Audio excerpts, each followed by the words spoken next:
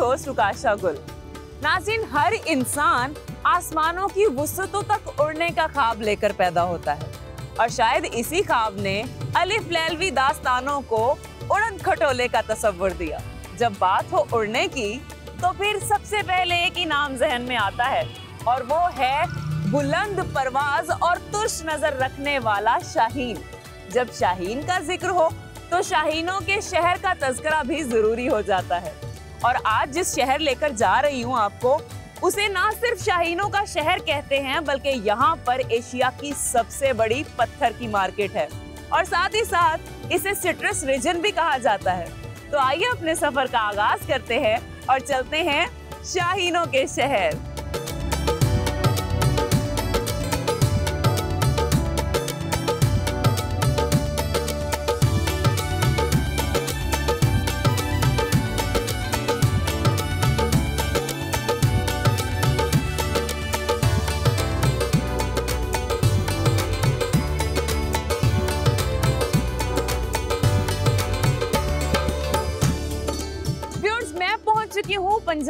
खूबसूरत शहर सरगोदा में। अब अगर तारीख के हवाले से बात करें तो पता चलता है सरगोदा नाम को लेके दो रिवायात हैं। एक तो ये कि सरगोदा संस्कृत के लफ्ज सवरगा धामा से माखूज है, जिसका मतलब है आसमानी ठिकाना। और एक और मोतबर रिवायत के मुताबिक कहा जाता है कि सरगोदा दो अल्फाज का मुरक्कब है, यानी सर और गोदा। सर का मतलब चश्मा और गोदा एक हिंदू जोगी था। कहा जाता है कि जहाँ आज डिस्ट्रिक्ट हेडक्वार्टर और म्यूनिसिपल कमेटी के दफातर हैं। यहाँ से कभी एक चश्मा गुजरा करता था और उसके पास ही एक कुटिया थी, जिसमें एक जोगी रहा करता था गोदा नामी तो उसकी मुनासबत से इसका नाम सरगोदा यानी गोदा का चश्मा रख दिया गया। अगर देखा जाए तो तारीख की कई बासर शख्सियात के जेर अताब रहा है ये खत्ता, जिसमें महमूद गजनवी सिकंदर आज़म चंगेज खान शेर शाह सूरी और अहमद शाह दुरानी वगैरह शामिल है। और मॉडर्न सिटी की बुनियाद 1903 में रखी गई और कहा जाता है कि किराना पहाड़ियों की वजह से इसे किराना बार भी किसी दौर में कहा जाता था। और ये प्लैंड सिटीज़ में से एक सिटी कहलाता है। दरियाए चनाब और झेलम के दरमियान ये खिता चज दोआब का इलाका है। 1940 में सरगोदा डिस्ट्रिक्ट हेडक्वार्टर बना और 1960 में इसे डिविजनल हेडक्वार्टर का दर्जा दिया गया। जिला सरगोदा सात तहसीलों पर मुश्तमिल है, जिसमें तहसील सरगोदा, कोट मोमिन, भलवाल, शाहपुर, सिलावाली, साहिवाल और भेरा शामिल हैं। जिला सरगोदा का कुल रकबा पाँच हज़ार आठ सौ चौवन मुरबा किलोमीटर है। जिला की कुल आबादी सैंतीस लाख तीन हज़ार पाँच सौ अट्ठासी नफूस पर मुश्तमिल है। जिसमें मर्दों की तादाद अठारह लाख बहत्तर हज़ार एक सौ सत्तर खातन की तादाद अठारह लाख इकतीस हज़ार एक सौ चौदह और तीन सौ चार ख्वाजा सरा शामिल हैं।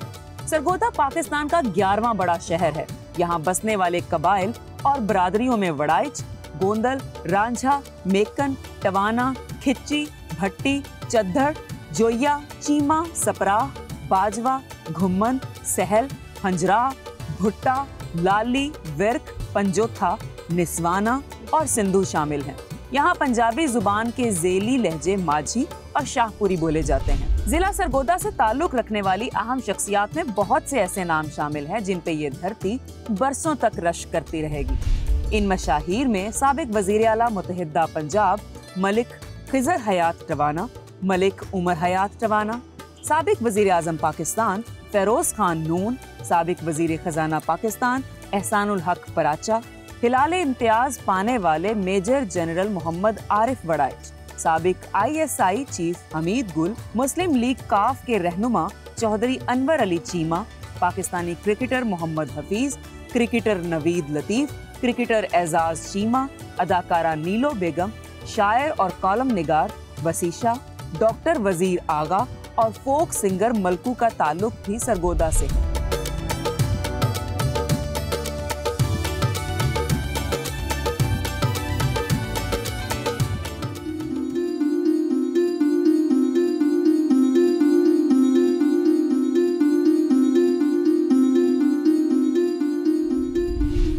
सरगोदा के तालीमी मैार को देखें तो यहाँ की शराह खानदगी है तिरसठ फ़ीसद। और तालीमी सहूलियात फराहम करने के लिए यहाँ पर सरकारी स्कूल्स की कुल तादाद उन्नीस सौ तेईस, जबकि निजी स्कूल्स की कुल तादाद सात सौ उनसठ है। इसके अलावा यहाँ पर उनतालीस सरकारी कॉलेजेस हैं और बयासी निजी कॉलेजेस हैं। एक यूनिवर्सिटी ऑफ़ सरगोदा है हायर एजुकेशन प्रोवाइड करने के लिए और इसके साथ साथ दो प्राइवेट यूनिवर्सिटीज़ के सब कैंपसेस भी हैं। स्कूल लेवल पर इस और प्रिंसिपल समेत दीगर अमले की जो कुल मंजूर शुदा सीट्स हैं, वो तकरीबन अठारह हैं, जिनमें से ताहाल चार हज़ार पाँच सौ सैंतालीस सीट्स खाली हैं। इस की कमी के बायस पेरेंट्स को रुख करना पड़ता है निजी इदारों का इसका नतीजा निकलता है भारी फीसें और एक बहुत बड़ी परेशानी। तो हुकूमत से दरख्वास्त है कि इन खाली आसामियों पर भर्ती का काम जल्द अज जल्द किया जाए ताकि वालदेन की इस परेशानी का जल्द अज जल्द हल निकले और यहाँ के तालीमी मैार को मज़ीद बेहतर किया जा सके।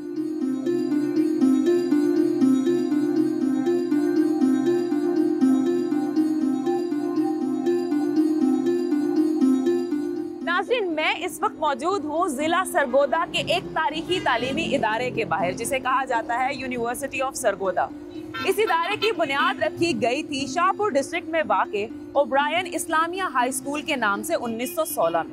फिर इस स्कूल लेवल का दर्जा बढ़ाया गया उन्नीस में और नाम रख दिया गया डी मॉन्ट मोरेंसी कॉलेज और फिर क्या हुआ कि 1932 में इसी कॉलेज को ग्रेजुएट लेवल पर अपडेट किया गया। और जब 1940 में सरगोदा को जिला का दर्जा दिया गया तो सफ़र मुकम्मल करते करते करते 1940 में ये जो डी मॉन्ट मोरेंसी कॉलेज था, इसे गवर्नमेंट कॉलेज सरगोदा करार दे दिया गया और सरगोदा में शिफ्ट कर दिया गया। और फिर इस तरह एक तवील सफ़र के बाद 22 नवंबर 2002 को इस कॉलेज को यूनिवर्सिटी का दर्जा दे दिया गया और आज यहाँ पर तकरीबन बीस हज़ार से जायद तलबा तालीम हासिल कर रहे हैं।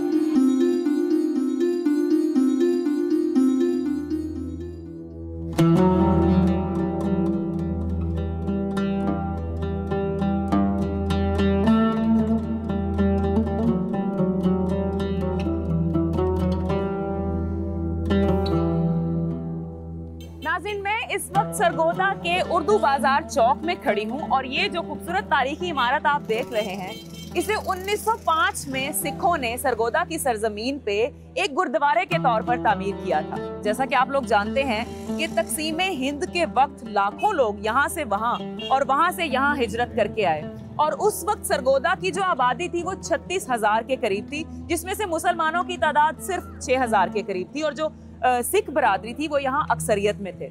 उन्होंने अपने लिए ये तामीर करवाया, लेकिन तकसीम हिंद के बाद उन्नीस सौ उनचास में इस गुरुद्वारे को अम्बाला स्कूल में तब्दील कर दिया गया। और ये आज भी बच्चों को तालीमी सहूलियात फराहम कर रहा है। लेकिन आप ये देखें कि ये कितनी शान शौकत से आज भी खड़ा है, क्योंकि ये उस वक्त के माहिर तामीरात राम सिंह की निगरानी में तामीर किया गया था और इसका कुल रकबा तकरीबन साढ़े चार कनाल के करीब है और ये बत्तीस कमरों पर मुश्तमिल है। ये खूबसूरत तारीखी इमारत तो है ही, लेकिन ये आज हमारे बच्चों को तालीम फराहम कर रही है। तो हुकूमत से दरख्वास्त है कि कीमती असासा होने के साथ साथ ये हमारे बच्चों के लिए भी एक बहुत खूबसूरत इमारत है। इसका ज़्यादा से ज़्यादा ख्याल करें और इसकी तजीनों आरइश के लिए मज़ीद काम किया जाए।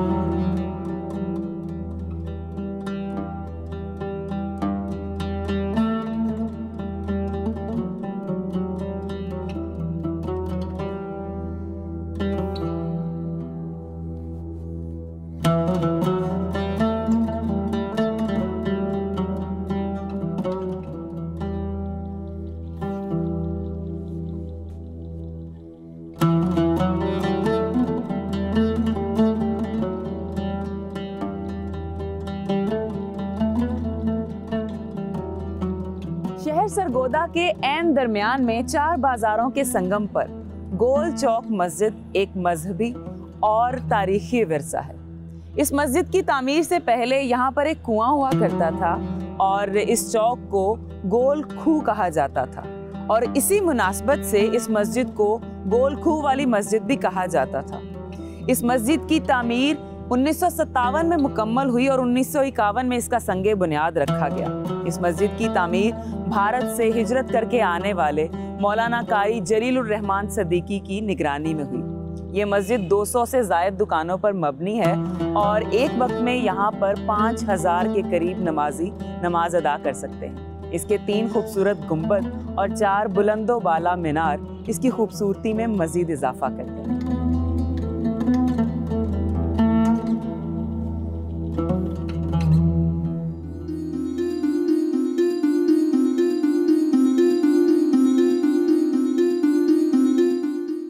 सेहत इंसान का बुनियादी हक है और ये हक अदा करने के लिए हुकूमत किस तरह से अपने फ़रज़ अंजाम दे रही है, वो आप इस बात से अंदाज़ा लगा सकते हैं कि यहाँ पर सेहत की सहूलियात फराहम करने के लिए एक डिस्ट्रिक्ट हेड क्वार्टर है, नौ तहसील हेड क्वार्टर हैं।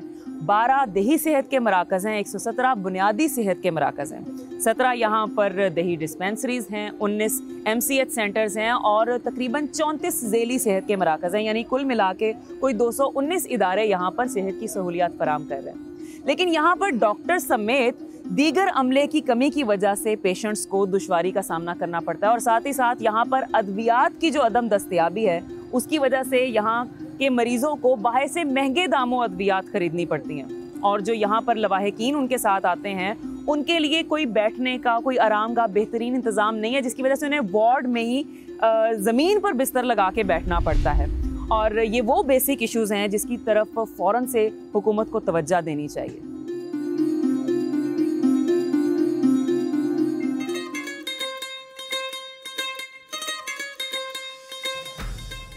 नाजरीन आप भी सोच रहे होंगे कि मैं कहाँ आई हुई हूँ और मेरे फ्रेम में आपको इतनी ज़्यादा बॉटल्स नज़र आ रही हैं, बोतलें नज़र आ रही हैं।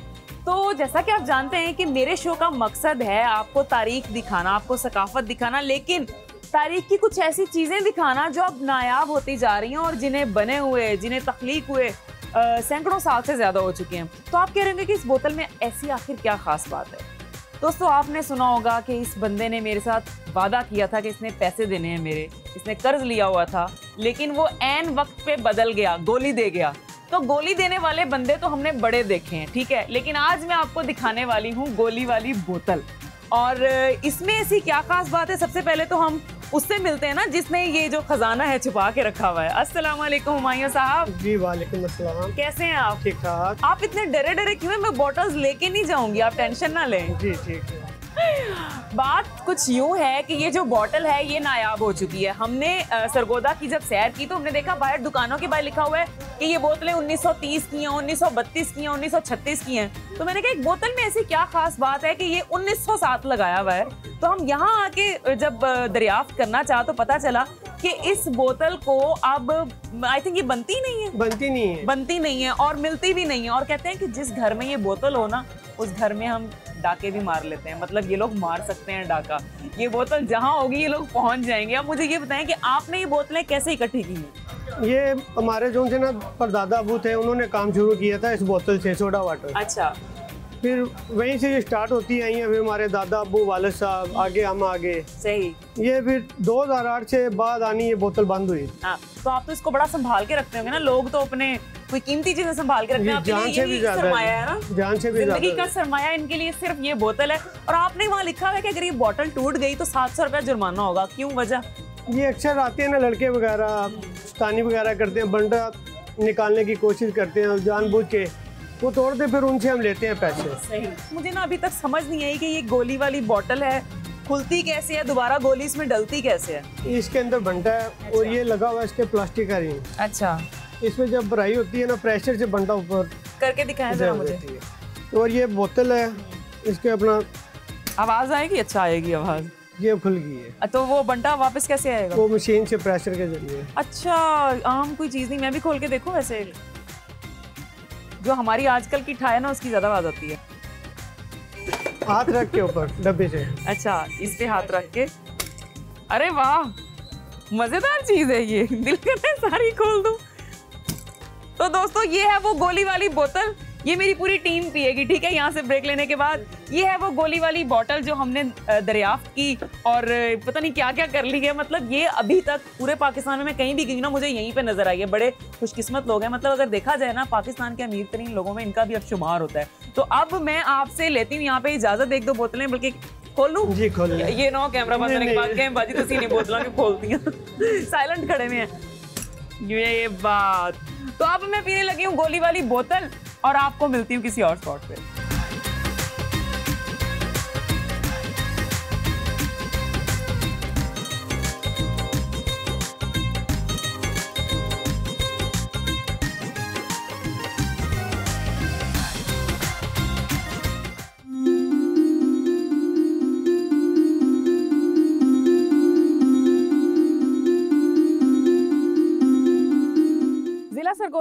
अगर जराइम की शरह और महकमा पुलिस की कारकर्दगी की बात करें तो यहाँ पर मवेशी, कार, मोटरसाइकिल, चोरी समेत कत्ल और मनशियात की खरीदो फरोख्त के जो वाक़ात हैं, वो एक मामूल है।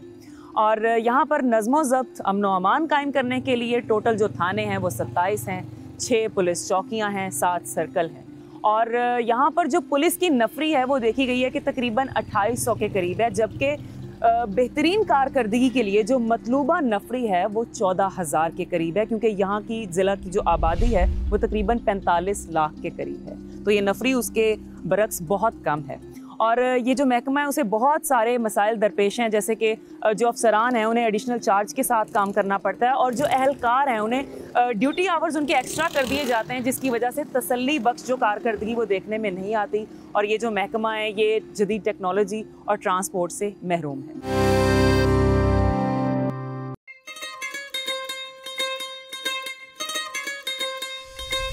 ज़िला सरगोदा का पंजाब के जरखेज़ तरीन खितों में शुमार होता है। जिला का बारह लाख छिहत्तर हज़ार आठ सौ सत्तासी एकड़ रकबा काबिल काश्त है। बहत्तर हज़ार तीन सौ चौंसठ एकड़ रकबा काबिल काश्त फजला है। एक लाख दस हज़ार चार सौ इक्यानवे एकड़ रकबा जंगलात पर मुहित है, जबकि एक लाख छः हज़ार एक सौ छत्तीस एकड़ रकबा नाकाबिल काश्त है। यहाँ बारह लाख साठ हज़ार उनसठ एकड़ अराजी नहरी पानी से सैराब होती है, जबकि सोलह हज़ार आठ सौ अट्ठाईस एकड़ रकबा बारानी है, जो बारिशों की लपेट में रहता है। यहाँ शीशम, किक्कर और सिमल के दरख्तों की बहुतात है। जिला की अहम फ़सलों में गंदम, गन्ना, चारा, चावल, लीमू, माल्टे, संतरे और किन्नू शामिल हैं। ये ज़िला सिट्रस के हवाले से नहायत अहमियत का हामिल है और किन्नुओं की पैदावार में ये खत्ता यद तूला रखता है।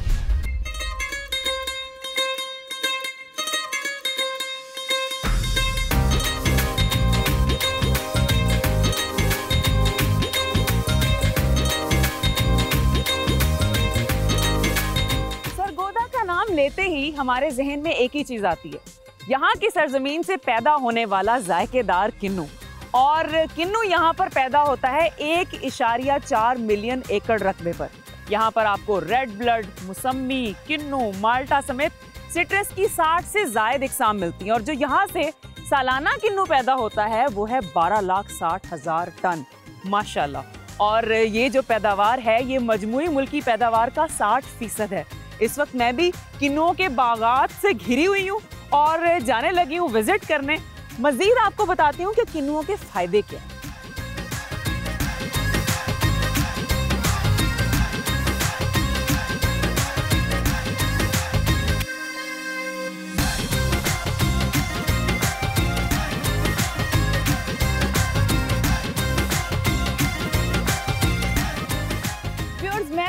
कर रही हूँ किन्नू के बागात की सैर को। और अपने लिए कोई तरो ताज़ा सा, वैसे तो ये सारे किन्नू ही बड़े तरो ताज़ा है, लेकिन मैं ना खूबसूरत सा किन्नू ढूंढ रही हूँ। व्यूअर्स मैं हैरान हो गई हूँ अल्लाह ताला की कुदरत से कि इतने तोहफे, इतना करम, इतना कुछ, और फल तो वैसे ही बहुत बड़ी नेमत है। ये मुझे लगता है कि खट्टा हो जाएगा। कोई डिफरेंट सा होना चाहिए ये, क्योंकि ना जितना मैंने बोलना है ना, मुझे एनर्जी चाहिए और फलों से बेहतर एनर्जी किसी चीज़ में नहीं हो सकती। तो मैं आपको बताने वाली थी किन्नू के फ़ायदे। देखें, तमाम फलों के बड़े फ़ायदे होते हैं, लेकिन हर चीज़ सीजनल होती है। अब चूँकि मौसम सरमा है और इसमें हमारे पास जो तोहफ़ा है, वो किन्नू का तोहफ़ा है। और इसी से हमने फ़ायदा उठाना है। अब अगर बात करें, किन्नू में सबसे ज़्यादा हमारे जहन में सबसे पहले एक चीज़ आती है वाइटामिन सी जो हर चीज़ के लिए बेहतरीन है। और ये किन्नू वाइटामिन सी की दौलत से माला माल है। सरतान, कैंसर जैसी बीमारी से बचा जा सकता है इस किन्नू से। दवाइयों से बचा जा सकता है इस किन्नू की वजह से। अगर आप एक ग्लास किन्नू, वो कहते हैं ना, एक चुटकी सिंदूर, अगर आप एक ग्लास जो किन्नू का है, वो रोज़ाना पीते हैं ना तो नाजीन आपको किसी तरह की गुर्दे की बीमारी का कभी सामना नहीं करना पड़ेगा। आपकी बचत हो जाएगी चुटकियों में। आपका दिल, जिस पे आपकी पूरी बॉडी चल रही है, अगर वो फिट नहीं होगा तो क्या फ़ायदा? तो ये किन्नू का एक ग्लास जूस आपने अपने दिल के लिए भी पीना है। फिर उसके बाद, जिल्द हमारी जो है, हम एज की तरफ़ जा रहे हैं, बड़े हो रहे हैं तो हमारी स्किन पे झुरियाँ, फिर छोटे छोटे दाग, धब्बे और स्किन हमारी वो वैसे नहीं रहती जैसी एक फ्रेश यंग स्किन होती है। तो उसके लिए भी आपने किन्नू का जूस पीना है। उसके बाद आपका जो ब्लड प्रेशर है, आजकल कौन बंदा नहीं है जिसको ब्लड प्रेशर नहीं है, जिसको शुगर नहीं है परेशानियाँ डिप्रेशन आगे बढ़ने की जल्दी सब कुछ सब कुछ होगा। किन्नू के साथ सब कुछ हो सकता है। तो आपने किन्नू खाने हैं ये सारी बीमारियों को पिछाड़ देना है। आगे बढ़ना है लाइफ में। एक किन्नू के सहारे।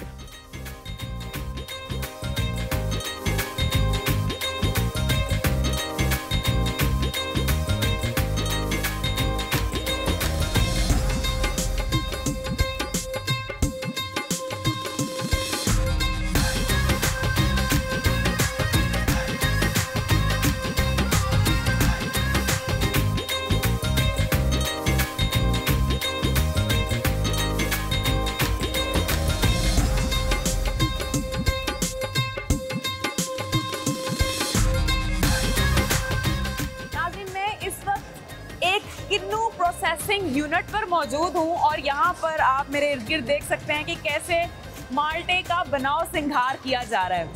इस सारे प्रोसेस में होता कुछ यूँ है कि पहले बाग से किन्नुओं को तोड़ लिया जाता है, फिर इस यूनिट पर लाया जाता है और उसके बाद यहाँ पर अनलोडिंग होती है किन्नुओं की। देन उनको वॉश किया जाता है, सफ़ाई की जाती है। उसके बाद होती है उसकी पॉलिश और पॉलिश के बाद उसको कुछ देर सुखाया जाता है। देन उसको साइज़ की बुनियाद पे डिवाइड किया जाता है। छोटे साइज़ के किन्नू अलग से पैक होते हैं, बड़े अलग से क्वालिटी वाइज पैक किया जाता है। और इस तरह से ये किन्नू हम तक पहुँचता है, आप तक पहुँचता है, मुल्क में हर जगह पहुँचता है और मुल्क से बाहर भी जाता है। तो ये है हमारा पाकिस्तान सरगोदा का किन्नू, जो पूरी दुनिया में छाया हुआ है। देखिए।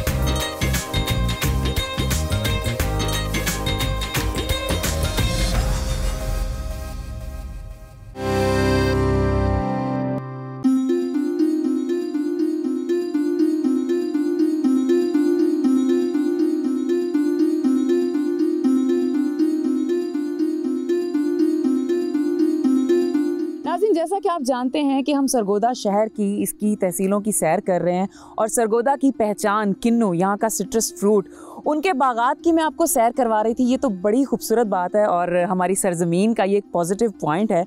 लेकिन इसी के बरक्स एक और बड़ी नेगेटिव चीज़ देखने को मिली है कि ये जो सारी ज़मीनें हैं, इनको नहरी पानी दस्तियाब नहीं है और इस वक्त मैं पचानवे छियानवे जनूबी के रकबे पर मौजूद हूँ।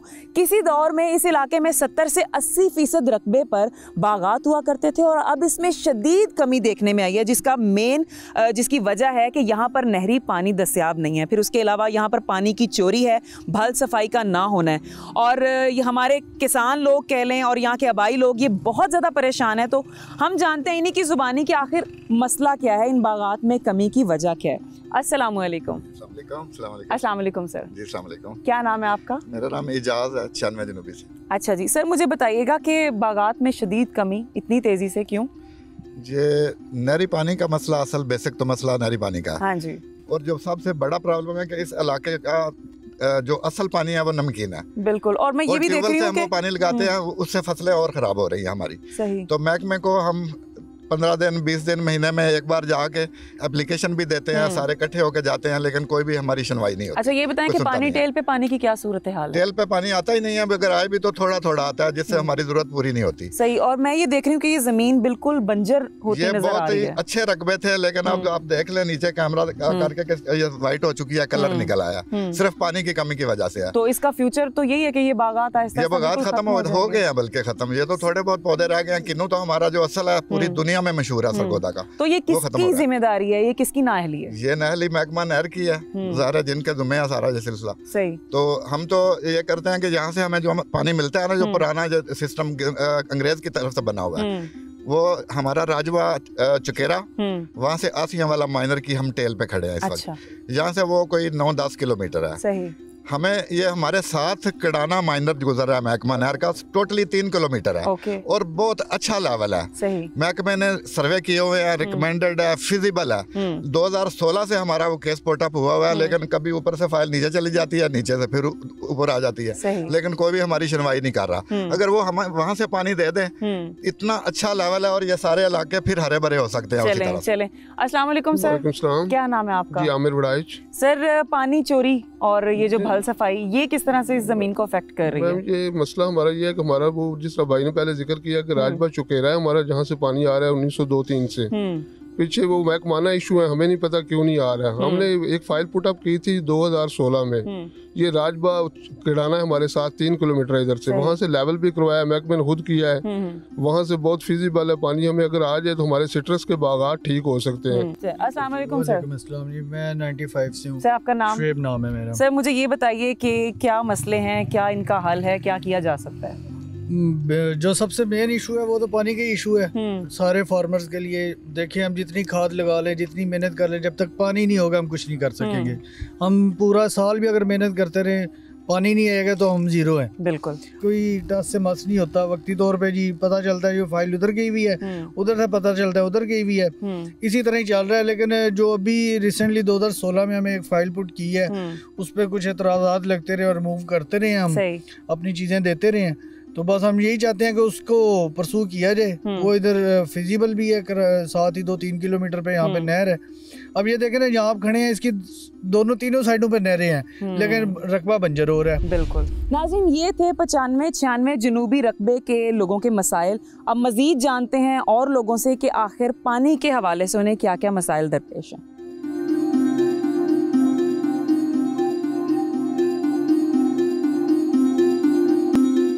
ਸਾਡਾ ਸਭ ਤੋਂ ਵੱਡਾ ਮਸਲਾ ਪਾਣੀ ਦੀ ਕਮੀ ਦਾ ਇਸ ਤੋਂ ਇਲਾਵਾ ਜਿਹੜਾ ਇੱਕ ਹੋਰ ਮਸਲਾ ਨਾ, ਉਹ ਬਾਸਰ ਅਫਰਾਦ ਜਿਹੜੇ ਨੇ, ਉਹ ਪਾਣੀ ਦੀ ਵਾਰੀਆਂ ਸਾਡੀਆਂ ਤਬਦੀਲ ਕਰ ਦਿੰਦੇ ਨੇ। ਪਿਛਲੇ ਦਿਨਾਂ 'ਚ ਮੇਰਾ ਮਸਲਾ ਕੀ ਬਣਿਆ? ਕਿ ਪਿੰਡ ਦਾ ਲੰਬੜਦਾਰ ਹੈ, ਬਾਸਰ ਬੰਦਾ ਉਹਨੇ ਮੇਰੀ ਵਾਰੀ ਜਿਹੜੀ ਹੈ ਨਾ, ਮਹਿਕਮੇ ਦੀ ਮਿਲੀ ਭਗਤ ਨਾਲ ਨਾ, ਕਿੰਨੇ ਲਈਦਾ ਐਸਡੀਓ ਵੇ ਸਾਡਾ ਅਰਫ ਕੁਰੇਸ਼ੀ ਤੇ ਜ਼ਿਲ੍ਹੇਦਾਰ ਹੈ ਮੁਹੰਮਦ ਰਮਜ਼ਾਨ। ਇਹਨਾਂ ਨਾਲ ਮਿਲ ਕੇ ਉਹਨੇ ਸਾਡੀ ਵਾਰੀ ਤਬਦੀਲ ਕਰ ਦਿੱਤੀ। ਯਾਨੀ ਪਹਿਲੇ ਪਾਣੀ ਅੱਗੇ ਹੁੰਦਾ ਮੇਰੇ ਜਿਹੜੇ ਹਮਸਾਏ ਨੇ, ਉਹ ਪਾਣੀ ਲਾਉਂਦੇ ਸਨ। ਫਿਰ ਉਹਨੇ ਆਪਣੀ ਵਾਰੀ ਪਿੱਛੇ ਬਣਵਾ ਲਈ। ਸਾਡਾ ਪਾਣੀ ਸੱਤ ਕਸਰਾ ਹੋਣਾ ਚਾਹੀਦਾ, ਜਿਹਦੇ ਵਿੱਚ ਦੋ ਤੋਂ ਤਿੰਨ ਕਸਰਾ ਪਾਣੀ ਹੁੰਦਾ, ਉਹਦੇ ਨਾਲ ਸਾਡੀ ਸਬਜ਼ੀ ਵੀ ਨਹੀਂ ਪੀਚਦੀ। ਨਾ ਹੀ 6 ਘੰਟੇ ਮੇਰੀ ਵਾਰੀ ਹੈ, ਨਾ ਹੀ ਅਸੀਂ ਪਿੱਛੇ ਫੇਰਾ ਮਾਰ ਸਕਨੇ ਆ, ਨਾ ਹੀ ਸਾਨੂੰ ਉਹ ਮਹਿਕਮੇ ਵਾਲੇ ਪਾਣੀ ਦੇ ਰਹੇ ਨੇ, ਤੇ ਨਾ ਹੀ ਇੱਥੇ ਕੋਈ ਮਹਿਕਮੇ ਦਾ ਬੰਦਾ ਆਉਂਦਾ ਹੈ। ਮਹਿਕਮਾ ਜਿਹੜਾ ਨਹਿਰ ਹੈ ਇਸਨੇ ਓਵਰਸੀਅਰ ਸਾਨੂੰ ਦਿੱਤਾ ਵੇ ਓਵਰਸੀਅਰ ਨੇ ਸਾਨੂੰ ਲੈਵਲ ਕਰਕੇ ਦਿੱਤਾ ਵੇ। ਉਸਨੇ ਲੈਵਲ ਆਖਿਆ ਕਿ ਖਾਲ ਤੁਹਾਡੀ ਪਾਣੀ ਨੂੰ ਠੀਕ ਸਿਰਾਬ ਕਰੇਦਾ। ਲੇਕਿਨ ਜਦੋਂ ਪਾਣੀ ਖਾਲ ਪਕ ਪੁਖਤਾ ਬਣ ਗਿਆ ਵੇ, ਪਾਣੀ ਆਇਆ ਵੇ, ਤੇ ਸਾਨੂੰ ਉਹ ਲੈਵਲ ਉਸ ਦਾ ਬਹੁਤ ਡਾਊਨ ਹੈ ਉਹ 6 ਇੰਚ ਤੋਂ ਲੈ ਕੇ ਤੇ 8 ਇੰਚ ਤੱਕ ਡਾਊਨ ਹੈ ਜਿਹਦੀ ਵਜ੍ਹਾ ਤੋਂ ਸਾਨੂੰ ਪਾਣੀ ਬਹੁਤ ਉੱਚਾ ਲੱਗਦਾ ਅਸਾਂ ਫਿਰ ਆਪਣੀ ਉਹ ਜ਼ਮੀਨ ਪਟਾਈ ਹੈ ਕੋਈ ਕਰੇਨਾ ਨਾਲ ਕੋਈ ਐਸੇ ਤਰ੍ਹਾਂ ਹੀ ਉੱਚੀ ਹੈ ਕਾਫੀ ਸਾਰੀ ਜ਼ਮੀਨ ਜਿਹੜੀ ਹੈ ਸਾਡੀ ਬੰਜਰ ਹੋ ਗਈ ਹੈ ਕਿ ਮਹਿਕਮਾ ਨਹਿਰ ਨੇ ਰਿਸ਼ਵਤ ਲੈ ਕੇ ਭੈੜਾ ਓਵਰਸੀਅਰ ਜਿਹੜਾ ਵੇ ਉੱਥੇ ਤਾਇਨਾਤ ਕਰ ਛੜਿਆ ਜਿਹਨੂੰ ਕੋਈ ਪਤਾ ਨਹੀਂ ਸੀ ਕਿ ਲੈਵਲ ਕਿਸ ਤਰ੍ਹਾਂ ਫਿੱਟ ਕਰਨਾ ਵੇ ਜੀ ਮੈਂ ਇੱਥੋਂ ਦਾ ਜ਼ਿਮੀਂਦਾਰ ਹਾਂ ਇਸ ਇਲਾਕੇ ਦਾ ਜ਼ਿਮੀਂਦਾਰ ਹਾਂ ਮੈਂ ਇਹਨਾਂ ਇਹ ਸਾਡੀਆਂ ਜਿਹੜੀਆਂ ਜ਼ਮੀਨਾਂ ਨੇ ਸਾਨੂੰ ਪਾਣੀ ਨਹੀਂ ਮਿਲਦਾ ਸਾਡਾ ਪਾਣੀ ਪਿੱਛੇ ਟੈਲਾਂ 'ਚ ਹੀ ਖਤਮ ਹੋ ਜਾਂਦਾ ਹੈ ਅਸੀਂ ਜਾਣਦੇ ਹਾਂ ਜਦੋਂ ਸਾਡਾ ਪਾਣੀ ਦੀ ਵਾਰੀ ਆਉਂਦੀ ਏ ਤੇ ਟੈਲਾਂ ਤੋਂ ਅੱਗੇ ਪਿੱਛੇ ਪਾਣੀ ਆਉਂਦਾ ਕੋਈ ਨਹੀਂ ਸੋ ਇਸ ਵਜ੍ਹਾ ਤੋਂ ਸਾਡੀਆਂ ਜਿਹੜੀਆਂ ਫਸਲਾਂ ਨੇ ਉਹ ਤਬਾਹ ਹੋ ਗਈਆਂ ਨੇ ਅਸੀਂ ਬਰਬਾਦ ਹੋ ਗਏ ਹਾਂ ਇਸ ਇਲਾਕੇ ਦੇ ਜਿਹੜੇ ਅਫਸਰਾਨ ਨੇ ਐਸਡੀ ਹੋ ਗਿਆ ਐਕਸੀਨ ਹੋ ਗਿਆ ਜ਼ਿਲ੍ਹੇਦਾਰ ਹੋ ਗਏ ਨੇ। ਇਹ ਇਸ ਇਹਨਾਂ ਲੋਕਾਂ ਨਾਲ ਮਿਲ ਕੇ ਕ- ਪੈਸੇ ਖਾਂਦੇ ਨੇ ਪੈਸੇ ਸਾਡੇ ਕੋਲ ਮੰਗਦੇ ਨੇ। ਅਸੀਂ ਇੰਨੇ ਜੋਵੇਂ ਹਾਂ ਗਰੀਬ ਲੋਕ ਅਸੀਂ ਸਰਕਾਰ ਨਾਲ ਕੋਈ ਪੰਗਾ ਨਹੀਂ ਲੈ ਸਕਦੇ। ਨਾ ਕੋਈ ਅਸੀਂ ਕਿਸੇ ਮਹਿਕਮੇ ਦੇ ਬੰਦੇ ਨਾਲ ਕੋਈ ਆਖ ਸਕਨੇ ਆ। ਨਾ ਸਾਡੀ ਇੰਨੀ ਪਹੁੰਚ ਹੈ, ਨਾ ਅਸੀਂ ਕੋਈ ਗੱਲਬਾਤ ਕਰ ਸਕਨੇ ਆ। ਸਾਨੂੰ ਮਿਹਰਬਾਨੀ ਕਰੋ ਸਾਡਾ ਪਾਣੀ ਪੂਰਾ ਕਰੋ। ਸਾਡਾ ਹੱਕ ਹੈ ਸਾਡਾ ਕੰਮ ਕੰਮ ਹੱਕ ਤੇ ਪੂਰਾ ਕਰੋ ਨਾ। ਕਿੰਨੂ? ਅਮਰੂਦ।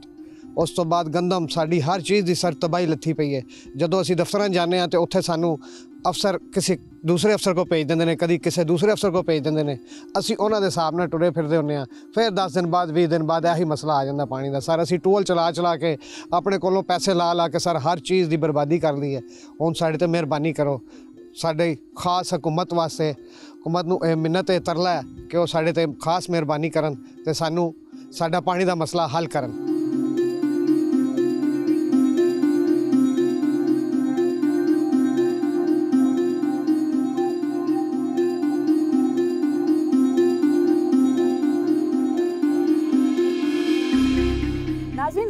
का एक रुख तो नहायत खूबसूरत और दूसरा रुख इतना भयानक है कि दिल खून के आँसू रो रहा है। यहाँ के अवाम से बात करके पता चला कि वो कितने मजबूर हो चुके हैं, उनकी बर्दाश्त की एक हद हो चुकी है। मतलब यहाँ के जो इरिगेशन अफसरान हैं, उनके पास जा जा के धक्के खा के चक्कर लगा के उन्हें कुछ भी हासिल नहीं हो रहा।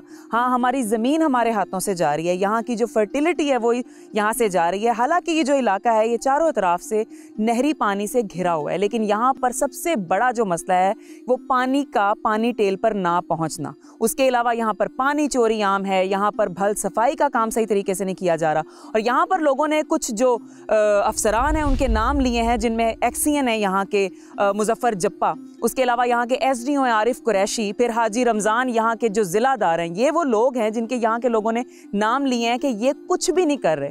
हाँ रिश्वतखोरी में, करप्शन में ये लोग आगे हैं, ये अफसरान मतलब सर फहरिस्त हैं। लेकिन रिस्पॉन्स में कुछ नहीं कर रहे। और ये लोग जाते हैं, इनके डेज़ इनको टाइम दिया जाता है, इनको तारीखें दी जाती हैं, लेकिन किया कुछ नहीं जाता। और इसमें नुकसान सिर्फ़ इन किसानों का नहीं है, इसमें नुकसान इस इलाके का है, इस ज़मीन का है, इसकी फर्टिलिटी का है, हमारे मुल्क का है। ये जो यहाँ पर फ्रूट है या कोई भी फ़सल आती है अमरूद है, किन्नू है, या कुछ भी है, ये हमारे मुल्क के ज़र मुबादला में बड़ा काम कर रहा है। अगर यहाँ से ये चीज़ें ख़त्म होती जाएँगी तो कल को हमें ये सब चीज़ें महँगे दामों में बाहर से मंगवानी पड़ेंगी।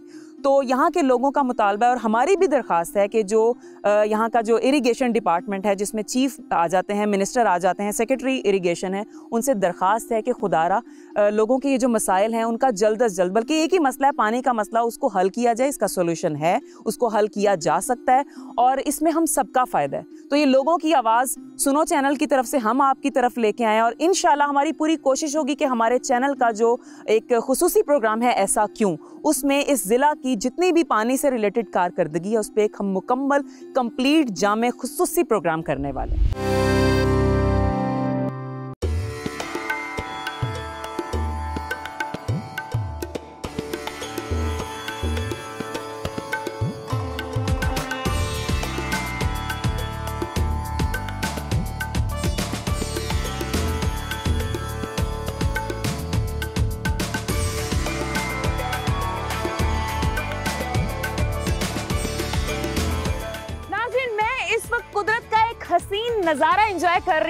नज़ारे को कहते हैं किराना पहाड़ियाँ।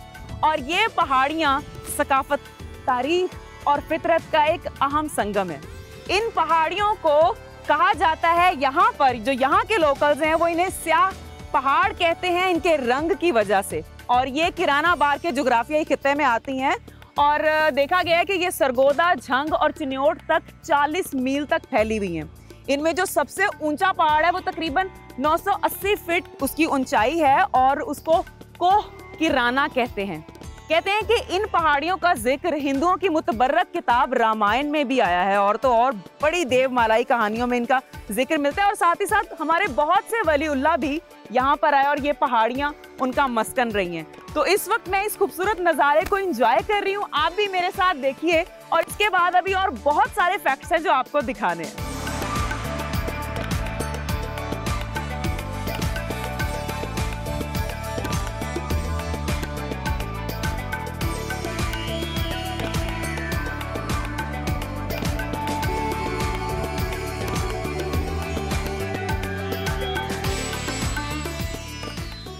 पत्थरों पे चलकर।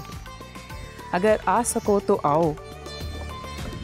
मेरे घर के रास्ते में कोई कहकशा नहीं वाह वाह वाह वाह। शायर ने भी कोई कसर नहीं छोड़ी महबूब को तकलीफ़ देने की। मतलब पत्थरों पे चलना नहीं होता आसान। खैर, ये तो बात जाए साइड पे। यहाँ आने का मकसद और पत्थरों पे शेर सुनाने का मकसद ये था कि पत्थरों को लेके एक ही शेर मुझे आता था, वो मैंने पढ़ दिया। व्यूअर्स जैसा कि आप जानते हैं कि मैं किराना हिल्स की सैर कर रही हूँ और व्यू बहुत खूबसूरत है, बहुत मज़ेदार है।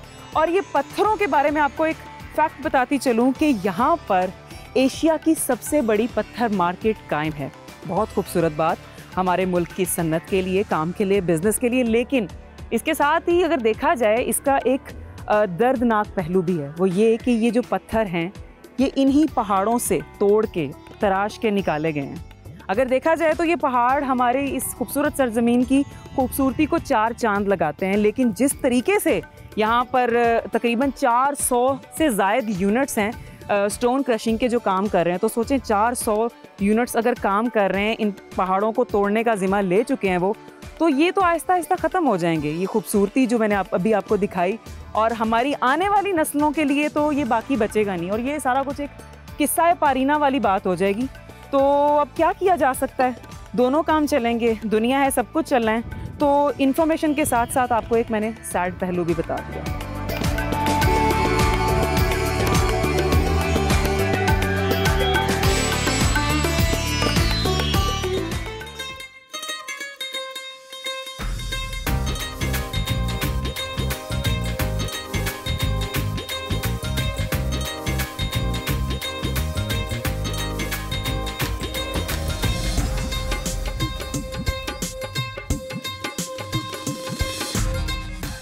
मैं इस वक्त ज़िला सरगोदा की एक तहसील सिलावाली में मौजूद हूँ और इस तहसील का हैंडीक्राफ्ट्स की दुनिया में कोई सानी नहीं है। ये किसी तारीफ़ की मोहताज ही नहीं है।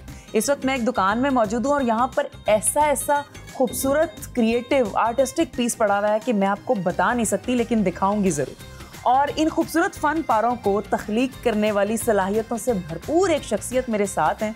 उन्हीं से मिलवाती हूँ। मेरे साथ मौजूद हैं मोहम्मद रियाज मुगल साहब और जानते हैं कि आखिर ये सब क्या है क्यों है और कब से है। अस्सलाम वालेकुम वालेकुम अस्सलाम। कैसे हैं? जी अल्हम्दुलिल्लाह आप ठीक हैं? अल्हम्दुलिल्लाह। सबसे पहले तो शुक्रिया कि आपने इतनी खूबसूरत सकाफत को ज़िंदा रखा हुआ है। अब मुझे ये बताइए कि आप आ, ये बस चलते फिरते काम शुरू कर दिया कि अबाव अजदाद से चलता आ रहा है काम। काम तो ये मैं बचपन से कर रहा हूँ बिल्कुल जैसे इंतहाई मैं कम उम्री से काम कर रहा हूँ। अच्छा। वो इसलिए कि हमारा ये अबाई काम था। सिला वाली में हमारे बुज़ुर्ग जो है ना ये इंडिया से लाए थे ये ज़िला करनाल था तहसील कैथल थी हमारी। अच्छा। आठ दरवाज़ों की तहसील थी ये। और वहाँ के जो लियाकत अली साहब थे वज़ी अजम वो उनकी तहसील थी। और सीफा सीपा सलाह रज़िया सुल्ताना साहबा और हज़रत शाह कमाल साहब का रोज़ा भी कैथल में है तहसील थी। ये काम का मुझे बचपन से ही शौक था। मेरे बड़े भाई थे उस्ताद खालिद महमूद से ये लेकर आर्ट चलाए जो मैं अभी लोहे की कलम से कर रहा हूँ। रियाज साहब से जब मैं बैठ के बात करने लगी थी तो इन्होंने ना अपनी पॉकेट में पाकिस्तान का झंडा रखा हुआ था वो यहाँ पे लगाया। तो कहते हैं कि ये जो सब कुछ है ये पाकिस्तान की वजह से है। मैं पाकिस्तान से हूँ पाकिस्तान मुझसे है। तो मैं कहीं भी इन चीज़ों को रिप्रेजेंट करता हूँ तो ये झंडा लगाना नहीं भूलता। और मैं वो कहते हैं ना कि इस बात में मैं पिघल गई थी कि क्या बात है ये होती हैं वैल्यूज़ आप जो देते हैं मेरे जितने भी बास्केट या कोट्स वगैरह जो होते हैं ना सूट वगैरह मेरे हर में अलहदा से होते हैं पॉकेट के अंदर। ये एक नहीं है। जितने भी हैं ना उसमें अलहदा अलहदा से मैंने रखे हुए हैं कि मैं भूल ना जाऊँ। तो ये क्योंकि हम पाकिस्तान से हमारी पहचान है। हम कुछ भी नहीं है। बिल्कुल पाकिस्तान है तो हम सब कुछ है ना जी।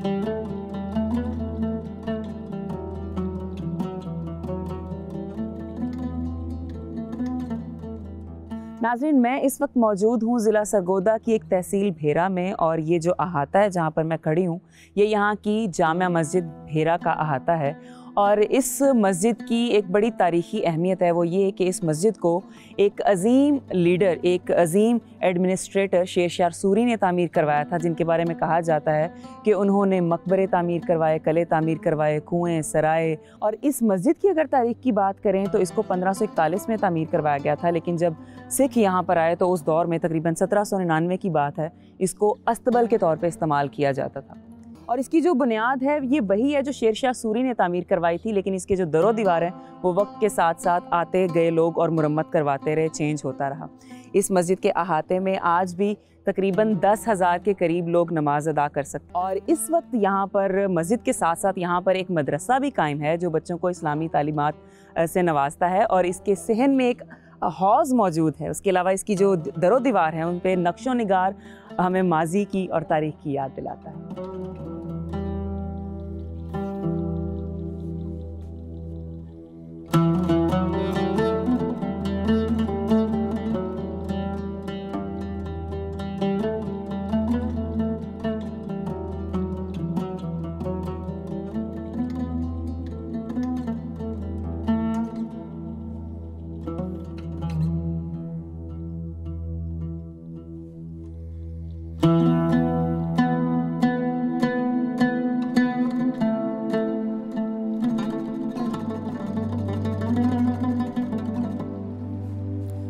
जमाल हर शहर से है प्यारा, वो शहर मुझको। जहाँ से देखा था पहली बार आसमान मैंने। यही वो सरजमीन है जहाँ से 1965 को एम एम आलम ने एक परवाज़ भरी, आसमान की बुलंदियों को छुआ और चंद ही सेकंड्स में दुश्मन के जहाज़ गिरा दिए। राय अहमद खान खरल का कहना है कि एक गैरतमंद कभी अपना घोड़ा, ज़मीन और ख़ातून किसी के हवाले नहीं करता। तो बस इस पाक सरजमीन को दुश्मन के हवाले करना गवारा ना समझा हमारे जवानों ने, और चंद ही सेकंड्स में उन्हें शिकस्त फाश दी, और हिलाल इस्तकलाल अपने नाम किया। आज फिर एक और ख़ूबसूरत शहर में हमारी शाम हो गई। यहाँ की हर खत्ते से, हर गली, हर कूचे से हमें तारीख का पहलू नज़र आया। यहाँ के खूबसूरत लोगों से मुलाकात हुई। यहाँ की जरखेज़ी के बारे में पता चला। लेकिन जहाँ आईने का एक रुख तो बहुत खूबसूरत था, दूसरी तरफ़ कुछ ऐसी चीज़ें देखने को मिली जिनकी वजह से दिल उदास हुआ। और सिर्फ़ एक महकमे, उस महकमे के चंद लोगों की मिसमैनेजमेंट की वजह से ये सब देखना पड़ा। तो मैं उम्मीद करती हूँ कि हमारे चैनल सुनो टीवी की तरफ़ से, हमारे प्रोग्राम शहरनामा की तरफ़ से हम अपने किसानों की आवाज़ बनेंगे और हमारी ये आवाज़ हुकाम बाला तक जाएगी। उम्मीद करते हैं कि आपसे बहुत जल्द एक नए शहर में मुलाकात होगी। तब तक के लिए मुझे मेरी शहरनामा की टीम को इजाज़त दीजिए। अल्लाह हाफ़